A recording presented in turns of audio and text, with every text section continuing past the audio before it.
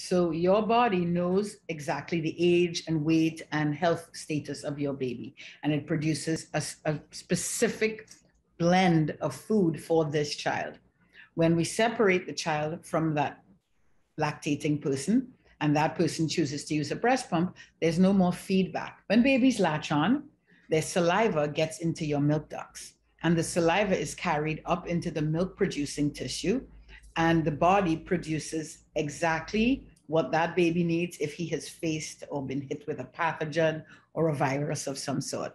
So that's one of the feedbacks that we get from breastfeeding directly from the breast. When we use a breast pump, the breast pump creates negative pressure, and that's it. But when baby breastfeeds, baby puts positive pressure on the areola, which then triggers the milk to let down.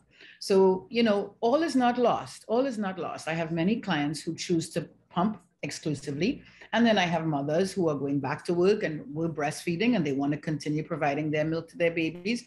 So there are some tricks that we can employ to help this factory made breast pump act similarly, or at least remove as much milk as it can from your breast. Now, a breast pump can effectively remove a third of the milk that's available.